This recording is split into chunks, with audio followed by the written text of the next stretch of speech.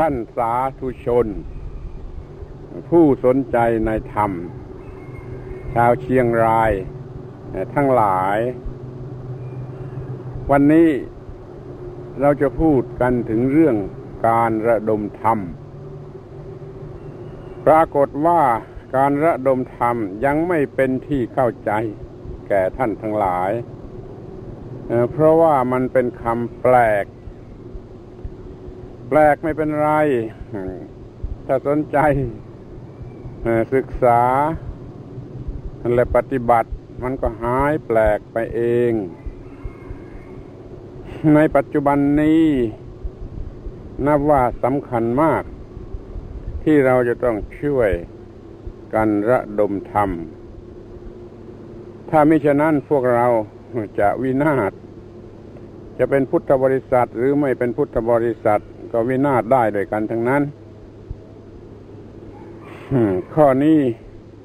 เพราะเหตุไร เพราะเหตุว่าไอ้ความเจริญทางวัตถุ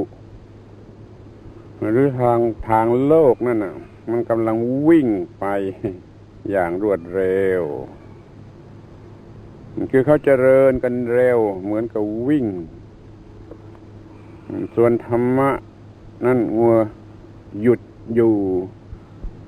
เพราะพวกเรามันเลวไหลต่อกิจกรรมของศาสนา ธรรมะวิ่งตามไม่ทัน เพราะว่าไม่ค่อยจะมีใครสนใจในปัญหาเรื่องนี้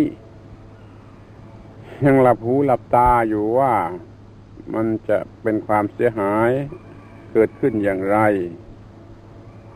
คนก็กำลังตกเป็นทาสของวัตถุ อันเป็นที่ตั้งของกิเลส คนส่วนมากหรือจะว่าทั้งหมดก็ได้ เหไปในทางตกเป็นธาตุของกิเลส เพราะเขาสร้างวัตถุสำหรับเป็นเหยื่อของกิเลสนั่น ขึ้นมาใหม่ ๆ ยั่วยวน จิตใจของคนยิ่งขึ้นทุกที คนก็ตกเป็นทาสของความเจริญอย่างสมัยใหม่ แล้วแต่ว่าไอ้ความเจริญสมัยใหม่นี่จะชักพาไปในทางไหน ขอให้ท่านทั้งหลายสนใจในข้อนี้ให้มาก ว่าความเจริญทางวัตถุของสมัยใหม่นั่นมันมีอำนาจมากมีอิทธิพลมาก หมุนโลกไปตามที่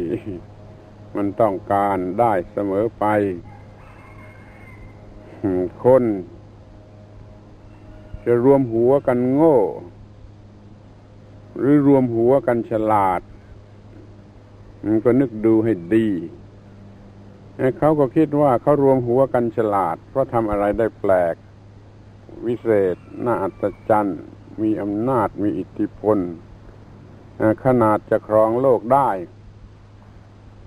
แต่แล้วเขาก็ใช้ความรู้หรืออำนาจหรืออิทธิพลนั้นดึงโลกไปสู่ความวินาศ ความเจริญทางโลก นั่นแหละคือความวินาศความเจริญนั่นแหละ คือความวินาศ ถ้ามันขาดธรรมะ ช่วยตั้งข้อสังเกตไว้ดีๆอาตมากำลังพูดว่าถ้าขาดธรรมะ ความเจริญนั่นแหละ คือความวินาศขอโอกาสยกตัวอย่างอย่างไม่ต้องเกรงใจใคร ไม่ต้องเกรงใจท่านทั้งหลาย ตลอดถึงไม่เกรงใจรัฐบาลโดยซ้ำไปเพราะต้องการจะยกตัวอย่าง เช่นว่าเรามีความเจริญมาถึงระดับที่ว่าไฟฟ้าจะเข้าไปทุกตำบล ก็เรียกกันว่าความเจริญต้องการกันอย่างยิ่ง รบเร้ากันอย่างยิ่ง พอไฟฟ้าเข้าไปมันก็เปลี่ยนแปลงมหาศาลเพราะว่าอุปกรณ์การใช้ไฟฟ้านั่นมันมีมาก ชาวป่าชาวบ้านนอกคอกนา ก็จะมีวิทยุ จะมีโทรทัศน์ จะมีหม้อหุงข้าวด้วยไฟฟ้า มันจะมีมอเตอร์สูบน้ำจากบ่อแทนการตัก ที่เคยตักกันมาตั้งแต่ปู่ย่าตายาย นี่ความเจริญมาถึงแล้ว ความเจริญทางวัตถุมาถึงแล้วท่านมี วิทยุ ก็ฟังกันแต่เพลงหรืออีเกท่านมีโทรทัศน์ ก็เปิดแต่โปรแกรมมวยพนันมวยกันที่หน้าจอโทรทัศน์ ได้เสียกันอย่างการพนันทีเดียว ก่อนนี้มันไม่มีมันทำไม่ได้ ถ้ามีหม้อหุงข้าวด้วยไฟฟ้า มันก็หุงข้าวด้วยถ่านด้วยฟืน ไม่เป็นนี่มันไม่ชอบ เพราะมันไม่สะดวกไม่เหมือนกับว่าใส่ข้าวสารใส่น้ำเอาวางเปิดสวิตไฟฟ้าแล้วมันก็สุกเองโดยไม่ต้องทำอะไร ตักน้ำจากบ่อเมื่อยเมื่อยแขน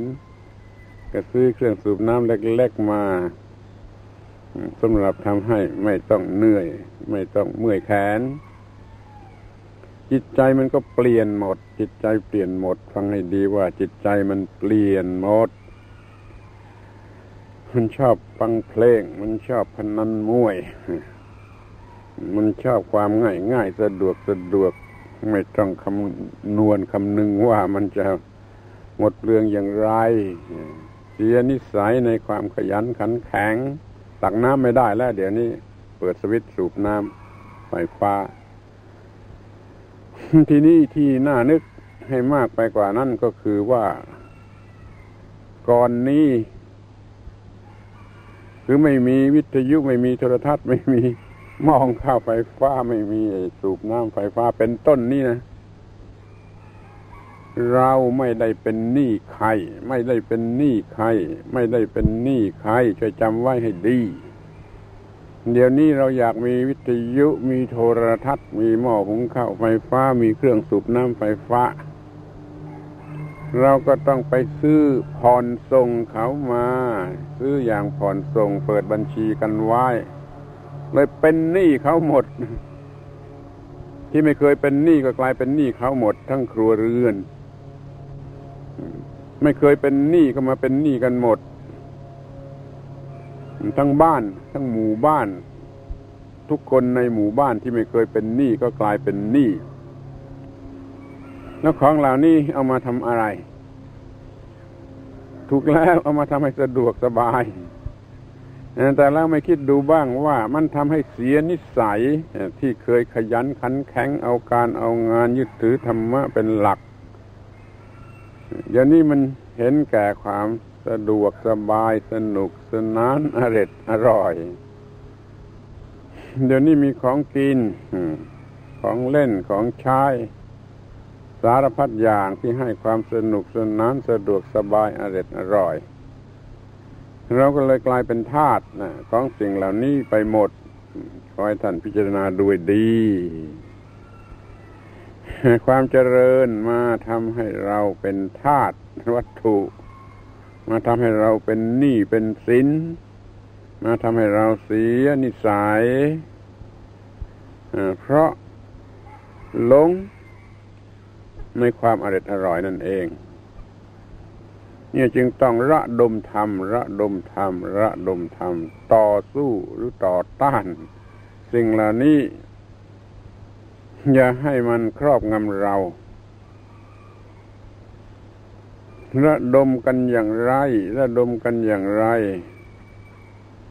ก็คือ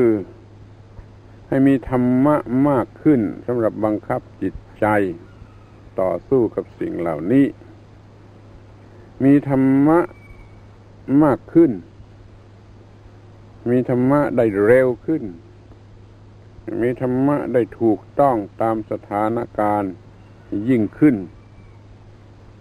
อย่าหลง ในความอร่อยอร่อย ซึ่งเป็นของหลอกลวง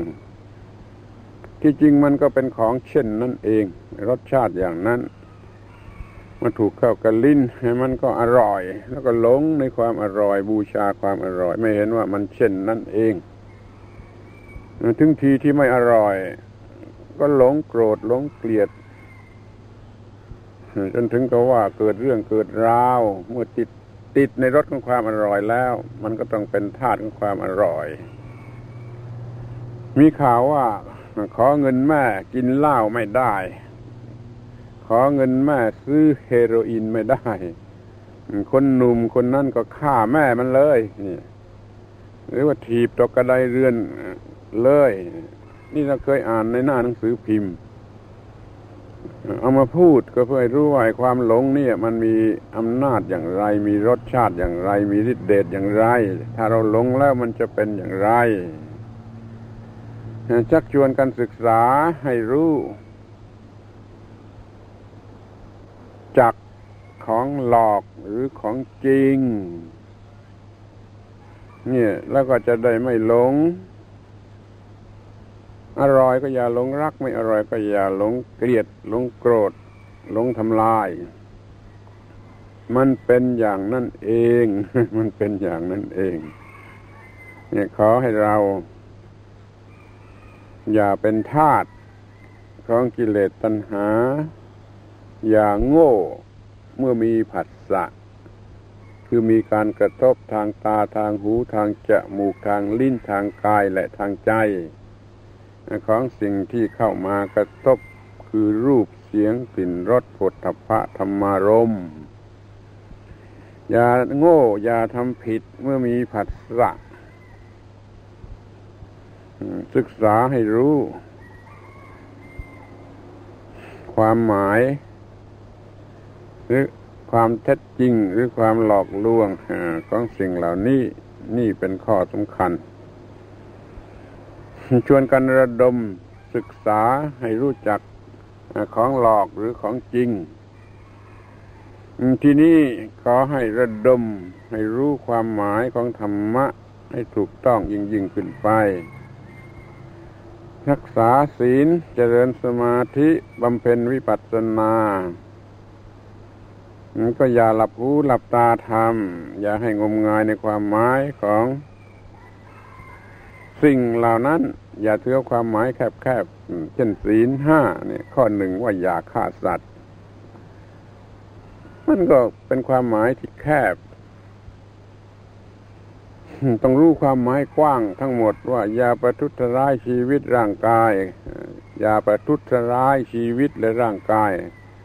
ของสัตว์ใด ๆ โดยวิธีใด ๆ อย่าประทุษร้ายชีวิต ร่างกาย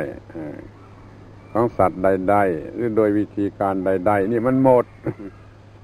อย่าไปถือแต่ว่าปานาห้ามฆ่าสัตว์นะมันจะโง่ คือมันรู้น้อยไป มันรู้แคบไปสู้ให้ความหมายกว้างๆว่า อย่าประทุษร้ายชีวิตร่างกายของสัตว์ใด ๆ โดยวิธีใด ๆ ก็ตาม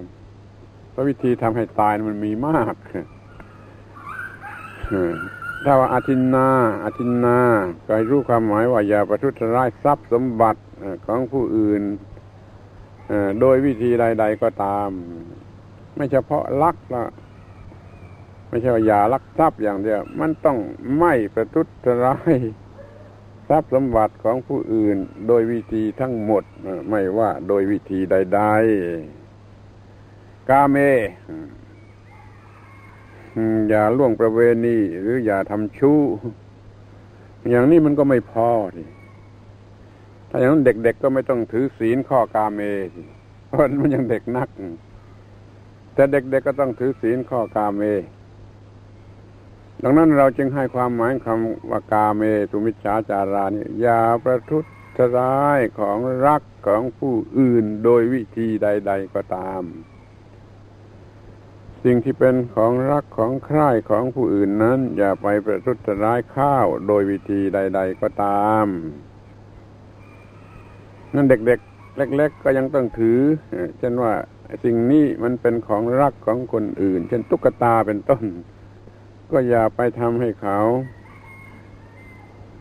โกรธหรือขัดเคือง เพราะเราไปลูกกลำของเขาไปเล่นของเขาไปอะไรของเขา ซึ่งเป็นของรักของของเขา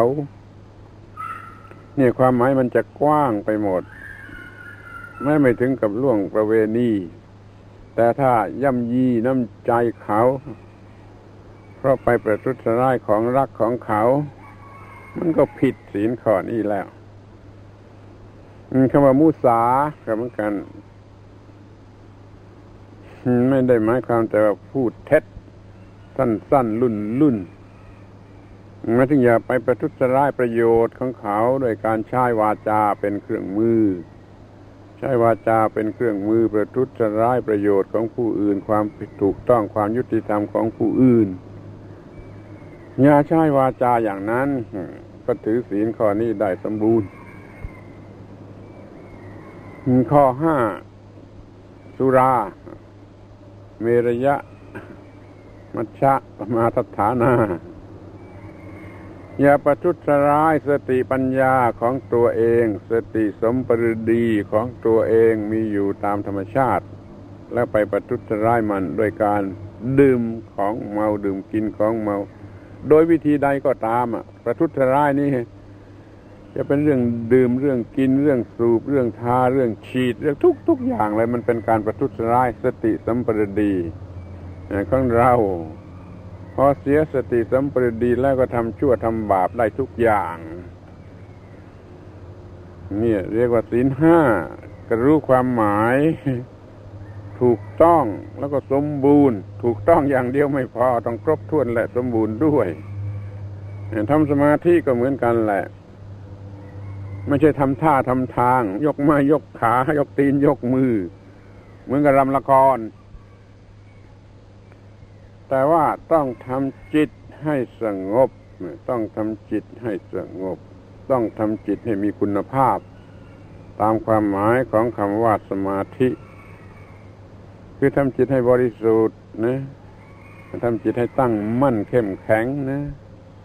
ทำจิตให้ว่องไวในการงานในหน้าที่ของจิตนะจึงจะเรียกว่ามีสมาธิที่ถูกต้องและสมบูรณ์ บริสุทธ์โธมีจิตบริสุทธิ์สมาหิโตมีจิตตั้งมั่นกัมมนิโย มีจิตควรแก่การงานในหน้าที่ของจิตทำได้อย่างนี้ก็เรียกว่ามีสมาธิ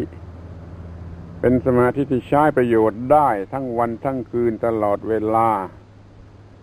จะทำการงานก็ทำได้ดี จะพักผ่อนก็พักผ่อนได้ดี แม้แต่จะนอนหลับ มันก็นอนหลับอย่างดี เพราะความมีสมาธิ แล้วก็ทำให้เจริญก้าวหน้าในทางจิตใจ เพราะสมาธินั่นเพราะมีสมาธิแล้วปัญหาต่างๆ มันก็หมดไปสิ้นไปโดยอำนาจของสมาธินั่นคือคำตอบมันจะออกมาเอง อะไรที่ข้องใจสงสัยไม่รู้ทำจิตเป็นสมาธิแต่มันจะออกมาเองจริงมันก็คิดออกเอง แต่ดูใกล้ๆกับมันออกมาเองโดยไม่ต้องคิด เพราะว่าจิตที่เป็นสมาธินะ่ะมันทำได้ถึงอย่างนั้น เรื่องปัญญาก็ต้องเป็นเรื่องที่รอบรู้ในสิ่งที่ควรจะรู้ ไม่ใช่รู้เฟอ้อรู้เกิน รู้ธรรมะเกิน รู้เฟอ้อจนใช้ประโยชน์อะไรไม่ได้ ต้องรู้ในสิ่งที่มาใช้เป็นประโยชน์ เพื่อแก้ปัญหา เฉพาะหน้ากำจัดความทุกข์เฉพาะหน้านี่จึงจะเรียกว่าปัญญา นี่ระดมธรรมระดมธรรมะนะคืออย่างนี้ ทุกอย่างมันถูกต้องและเพียงพอ ให้ถูกต้องอย่างไสยศาสตร์อ่าให้ถูกต้องทางปริยัติก่อน ให้ถูกต้องทางปริยัติปริยัติไม่เป็นไสยศาสตร์ ถูกต้องทางปฏิบัติ ปฏิบัติไม่เป็นไสยศาสตร์ ถูกต้องทางปฏิเวทคือมีผลไม่เป็นไสยศาสตร์ ถ้าเป็นไสยศาสตร์ก็ไม่ใช่พุทธศาสนา ไสยศาสตร์ต่างจากพุทธศาสนาโดยหลักใหญ่ ๆ ก็คือไสยศาสตร์นั่นเขาพึ่งสิ่งภายนอก พุทธศาสนาพึ่งสิ่งภายในไสยศาสตร์พึ่งผีสางเทวดาพระเจ้าอะไรก็สุดท้ายซึ่งเป็นสิ่งภายนอกส่วนพุทธศาสนาพึ่งสิ่งภายในคือธรรมะที่ประพฤติด้วยตนเองกระทำด้วยตนเอง มีผลเกิดแก่ตนเอง แล้วก็เป็นที่พึ่งได้นี่เป็นหลักใหญ่ถูกต้องทางปริยัติไม่เป็นไสยศาสตร์ พึ่งตัวเองได้ ช่วยตัวเองได้ รู้เรื่องสำคัญที่สุดของพระพุทธศาสนาคือเรื่องอนัตตา ไม่ใช่ตัวตน ซึ่งมีแต่ในพุทธศาสนา และมีอย่างถึงที่สุด ที่คนก็ไม่เข้าใจ เพียงแต่พูดว่าอนัตตาอนัตตาก็ไม่รู้ว่าอะไรแล้วเกิดความสงสัยขึ้นมาว่า ถ้าเป็นอนัตตาแล้วเราจะอยู่กันอย่างไร เราจะอยู่ที่ไหน เป็นอนัตตาแล้วอะไรจะทำดีทำชั่วทำบุญทำบาป เสวยผลดี เสวยผลชั่ว เพราะมันเป็นอนัตตาไปหมดแล้ว การกระทำก็ไม่เป็นอันกระทำแล้วไม่มีการได้รับผลของการกระทำนี่มันไม่รู้เรื่อง อนัตตาเห็นไหมโดยทางปริยัติอนัตตาหมายความว่ามันไม่ใช่ตัวตน ไม่ควรจะถือว่าตัวตนไม่มีความหมายแห่งตัวตน มันเป็นเพียงรูปธรรมและนามธรรม สำหรับคนเราคนหนึ่งนั่นมันมารวมกันทั้งรูปธรรมและนามธรรม คือมีกายและจิต เรียกว่ารูปธรรมและนามธรรม จิตไม่คิดนึกได้ มันก็ให้เกิดการกระทำทางวาจาทางกาย พอทำลงไปแล้ว มันก็ดีก็ชั่วที่กายและจิตนั่นเอง ที่คนที่ประกอบอยู่ด้วย กายและจิต มีกายและจิตไม่ต้องมีตัวตน ไม่ต้องมีอัตตา ไม่ต้องมีอาตมัน กายและจิตกระทำมันก็เกิดผลขึ้นที่กายและจิตทำผิดก็ผิดก็ชั่วก็เลวทำถูกก็ดี ก็เป็นบุญเป็นกุศล รู้สึกเป็นทุกข์เป็นสุขก็อยู่ที่กายและจิต ไม่ต้องเอาตัวตนเข้ามาเป็นเจ้าของ ความสุขความทุกข์หรือการกระทำนั้นนั้ นี่เรียกว่า มันเป็นอนัตตา ไม่มีอัตตา แต่ก็ทำกรรมได้ รับผลของกรรมได้ เพราะจิตมันรู้สึกคิดนึกได้ รู้สึกในการกระทำรู้สึกในผลที่เกิดขึ้นแก่กายและจิตนั้น นี่เรียกว่าทางปริยัติก็มีความถูกต้อง ดังที่ยกตัวอย่างมา ในทางปฏิบัติก็ไม่ปฏิบัติเป็นไสยศาสตร์ คืออธิบายไม่ได้เข้าใจไม่ได้ไม่เป็นสันทิฏฐิโก เราจะต้องปฏิบัติเพื่อดับทุกข์โดยตรง ไม่ใช่เพื่อฤทธิเดชปาฏิหาริย์ไม่ใช่เป็นสีลับปตะอปรามาตใด ๆ ไม่ต้องมีท่าทาง ที่ถือกันว่าเคร่งครัดศักดิ์สิทธิ์อย่างนี้เท่านั้นอย่างอื่นใช้ไม่ได้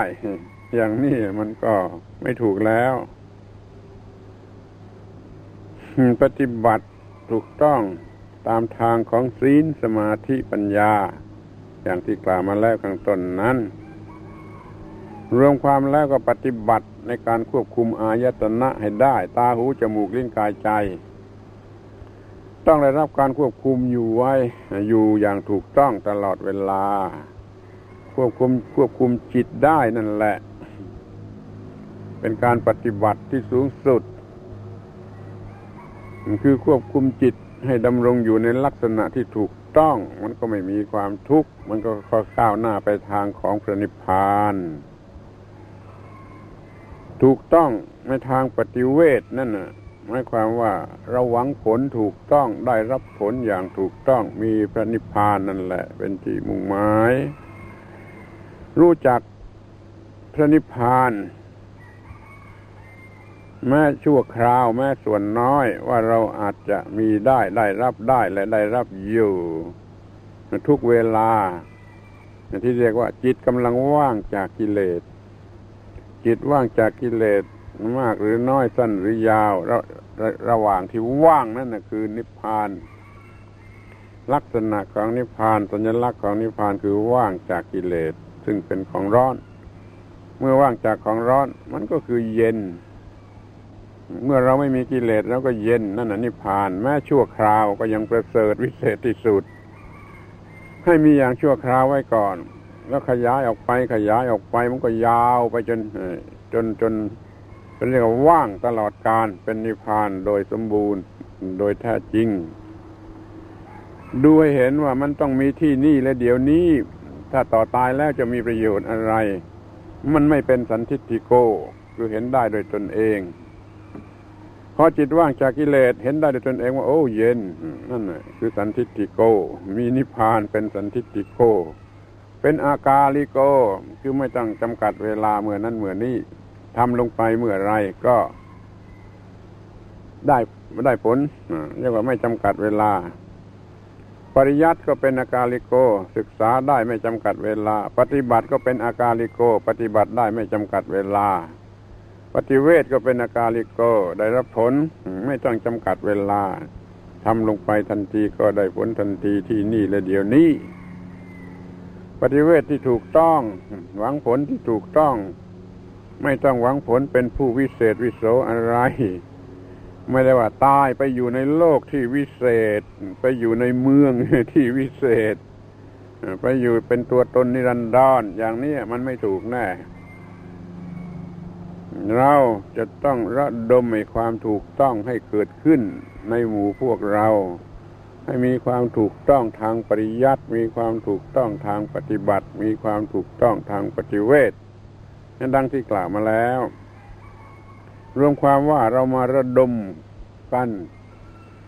ขับไล่ความผิดพลาด ให้หมดไปให้เหลือแต่ความถูกต้องผู้ในชัดก็ว่าขับไล่ไสยศาสตร์ออกไปเสียจากพุทธศาสตร์ พุทธบริษัทที่ไม่รู้พุทธศาสนาไม่เข้าถึงพุทธศาสนา ย่อมปฏิบัติอย่างไสยศาสตร์ในกันทั้งนั้น เพราะได้รับการอบรมมาตั้งแต่อ้อนแต่ออก คือว่าพอเกิดมา ก็ถูกอบรมให้นับถือให้เชื่อถือให้หวังพึ่งพาอาศัยสิ่งภายนอกตัว อะไรก็ไม่รู้แม้แต่สอนให้ไหว้พระ พระอะไรก็ไม่รู้ พระคืออะไรก็ไม่รู้ เพียงแต่ว่ามันจะเป็นที่พึ่งได้ ไม่รู้ว่าตัวเองจะต้องช่วยตัวเอง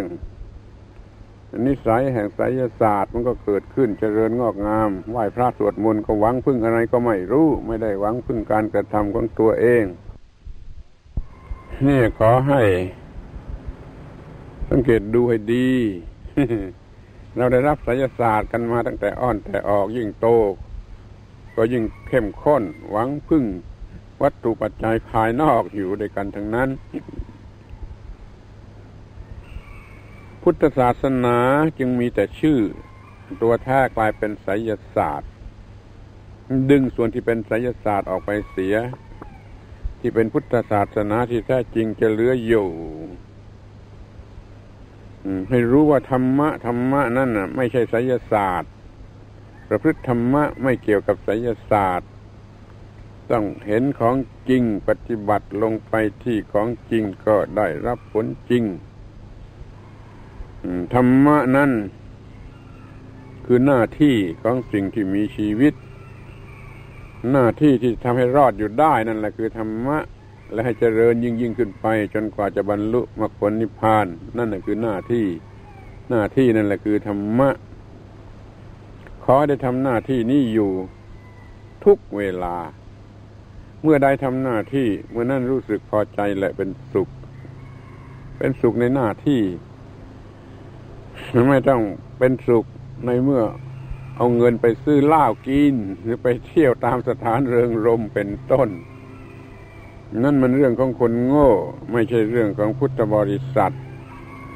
ถ้าเป็นพุทธบริษัทเขาหาความสุขได้ที่การงานนั่นแหละ ยิ่งเหน็ดเหนื่อย ก็ยิ่งรู้สึกว่ามีธรรมะมาก ยิ่งเหงื่อออกมาก นั่นแหละคือมีธรรมะมาก ไอ้เงือนั่นแหละ เป็นน้ำอมฤตเป็นน้ำวิเศษที่จะช่วยให้พ้นทุกข์ช่วยให้ไม่ตาย ช่วยดับทุกข์ทั้งหลายได้เงือนั่นแหละเป็นน้ำอมฤตแล้วใครมันชอบเงือกี่คน ที่ฟังอยู่นี่ใครชอบเงือกี่คน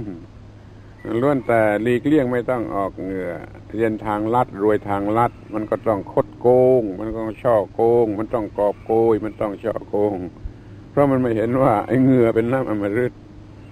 เพราะมันไม่สนุกในการงานในหน้าที่ ซึ่งเป็นตัวธรรมะแท้ขอให้เรา รู้ธรรมะ